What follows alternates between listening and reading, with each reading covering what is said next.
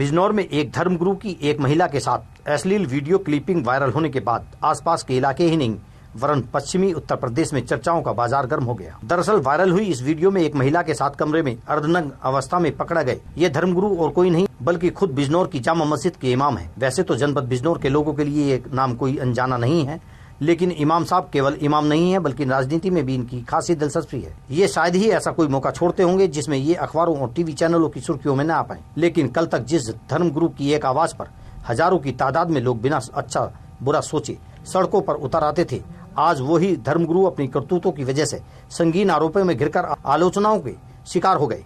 वैसे तो इमाम साहब का काम लोगों को दीनी बातें बताने और नेकी के रास्ते पर चलने का होता है, लेकिन ये खुद क्या करें? ये आप इन तस्वीरों को देखकर खुद अंदाज़ा लगा सकते हैं। आरोप है कि जनाब एक शादीशुदा महिला को तंत्र मंत्र के ज़रिए इलाज के बहाने एक कमरे में ले गए, फिर उसके बाद जो भी कुछ हुआ इन तस्वीरों में साफ़ दिख रहा है। पीड़िता का आरोप है कि मौलाना उसे इलाज के बहाने कलियर ले गए और वहाँ एक कमरे में ले जाकर उसके साथ बलात्कार करने का प्रयास किया।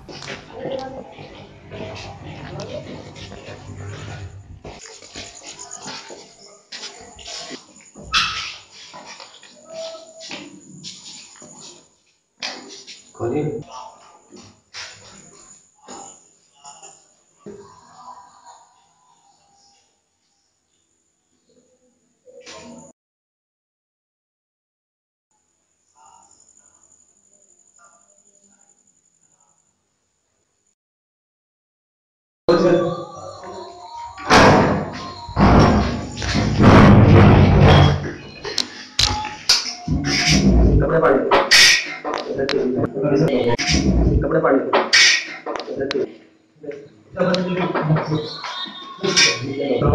कपड़े पाड़ी सुधा मुझे बहुत दिनों से परेशान कर दिया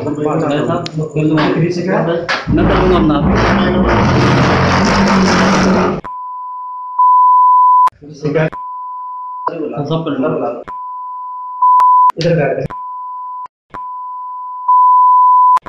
यहाँ बैठो ध्यान से। जाओ। मैं समझा आराम से तेरा फ़ायदे की बात है भागने की कोशिश मत करो यूँ मत खोल बैठा से।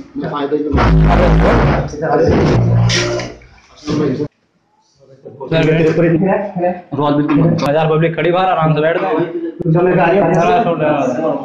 मोबाइल मत पहन तू इधर हो हो क्या हुआ? बताओ कोई बात से तुम्हारा काम नहीं होना। फिर क्या कहता है? ये बोल रहा है मैं तुम्हें फला जंगल लेकर जाऊँगा मैं ठीक है। हम इससे मारुति में बोल रहे तुम कहाँ ले जा रहा? है मैं कल्याण ले जा रहा है कल्याण में हो ये काम। और कुंडली हमने- क्या हमने सोचा कि और पीठ पे नंबर है कि भाई वहाँ उतार होता होगा तो हम इसके साथ चले गए। मानने लिए दो रूम। दो रूम में एक में तो इन्हें छोड़ दिया। और एक में मुझे लेकर पड़ गया। ना ने वहाँ ताबीज बनाया ना कोई ने ताबीज गंडा दिया ना कुछ दिया। मुझे लेकर पड़ गया इतने में मेरा आदमी ने दिए करा हाँ तुम्हारा तुम्हारे तुम्हारा जो है तुम्हारे साथ अपनी इस करतूत के लिए लोगों के हाथों पिटे मौलाना अनवारुल हक ने अस्पताल के बिस्तर पर पड़े पड़े भी इस पूरी घटना को अपने खिलाफ संदिग्ध बताया।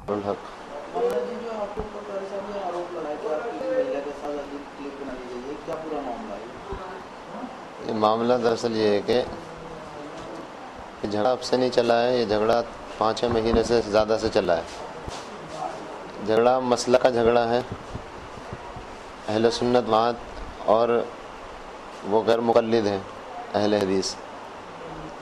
उन्होंने एक साजिश के तहत पहले तो मेरे ऊपर अब हमला कराया। ये कि मैं अपनी बीवी को हॉस्पिटल से डिस्चार्ज कराने के बाद में अपने घर छोड़ने के लिए जा रहा था। रास्ते में कुछ गुंडों और बदमाशों को भेज करके उन्होंने वो बदतर हालत कराई कि पूरे जिस्म पर ज़ख्मों के निशान और बीवी के साथ भी बलात्कार करने का प्रयास किया गया हमारी। एक साल के बच्चों को भी उन्होंने नहीं बख्शा है। उन लोगों ने इतनी घटिया हरकत ये की। उसके अलावा जो शुक्रवार गुज़रा है उन्हीं के लोगों ने धोखे से दावत पर बुलाया और दावत पर बुलाकर पहले मारपीट की। मारपीट करने के बाद में, ये समझ लीजिए, नशे की चीज़ भी उन्होंने पहले खाने जब, दे जब नशे की चीज़ भी उन्होंने दी थी। उसके बाद में मैं तनहा नहीं था, मेरे साथ एक उम्र मेरे साथी थे, मौलाना खुर्रम। दोनों के साथ बहुत ज़्यादा बदतमीज़ी और मारपीट की गई। उसके बाद कहा गया कि एक हज़ार आदमी बाहर खड़े हुए हैं और इस इस तरीके से इतनी गाड़ियाँ हैं। और तुम्हारा यहाँ से बच के जाना नहायत ही मुश्किल है। तो बहुत सारी उन्होंने धमकियाँ दी जो कि वीडियो क्लिप में अंदर मौजूद हैं। उसके बाद उन्होंने कमरे के अंदर मुझे खुद बंद किया और मेरा कुर्ता बाहर छीन लिया। उसके बाद दरवाज़े को वो टक टक करते हुए नज़र आए। और उन्होंने तीन मिनट तक खुद ने दरवाज़ा पकड़ रखा, खुद ही दरवाज़ा बजा रहे हैं। अगर इतना समय मुझे मिला था तो मैं अपना कुर्ता ना पहन लेता। लेकिन उन्होंने कुर्ता बाहर ही छीन लिया, तब उसके बाद अंदर किया। जब वो अंदर से दरवाज़ा खुला मेरे जिसम पर, जब भी उस वीडियो के अंदर निशान मौजूद थे। मारपीट करने के बाद में उस औरत को जिसका पूरा बिजनौर शहर एक ज़ुबान होकर ये कह रहा है कि ये इसका शौहर इसको पाँच सौ रुपये में किसी दूसरे के घर तक छोड़ करके आता है।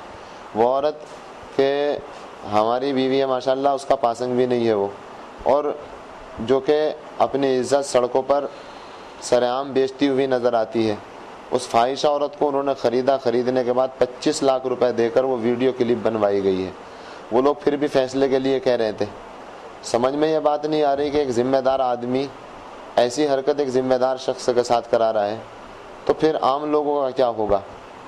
ये बिल्कुल यकीन के साथ नहीं, बल्कि मैं अल्लाह को हाजिर नाजिर करके ये बात कह सकता हूँ कि एक वो षडयंत्र रचा है, उस शख्स ने रचा है कि जिसने एक दो की नहीं चार से ज़्यादा लोगों की अपने मदरसे के अंदर हत्याएँ करवाई हैं। वो जिसका लड़का रेप के अंदर बाकायदा सज़ा काट के बाहर आ चुका है वो जिसके मदर जिसके यानी कि आए दिन कुकर्म के वाक़ात जिसका शजरा उठा करके देखें। जी। आपने अभी कहा कि पुरानी रंजिश के चलते किस मैटर में पुरानी रंजिश थी आप लोगों पुरानी रंजिश ये थी कि उन्होंने हमारे जो हिंदुस्तान के ज़िम्मेदार उलमा हैं उनके ऊपर एक उर्दू अखबार है, हमारा समाज।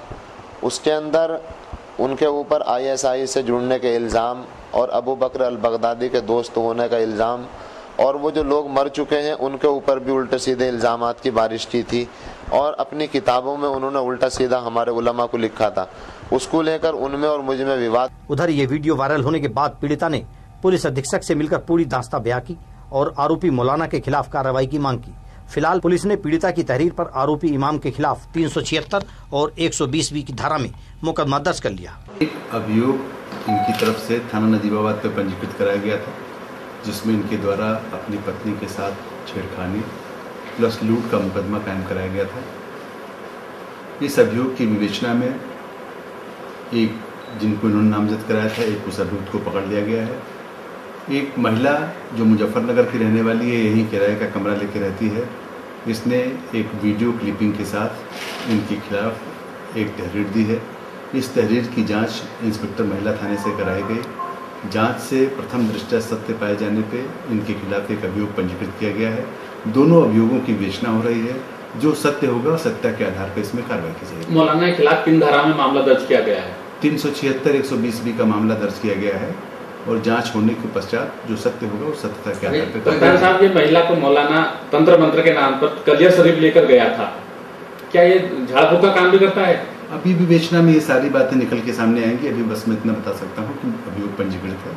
विवेचना हो रही है। विवेचना में ये सारी बातें निकल के सामने अभी तक कोई गिरफ्तारी हो गई अभी कोई गिरफ्तारी नहीं हुई लेकिन इस पूरे घटनाक्रम में एक सीख लेने वाली बात यह है कि पब्लिक जिन धर्म गुरुओं पर आँखें बंद कर विश्वास करती है आखिर ये विश्वास कितना सही है? और कितना गलत। ये तो मामले की जाँच के बाद ही सामने आएगा। फ़िलहाल धर्मगुरु की इस हरकत के बाद आमजन भी सकते में है।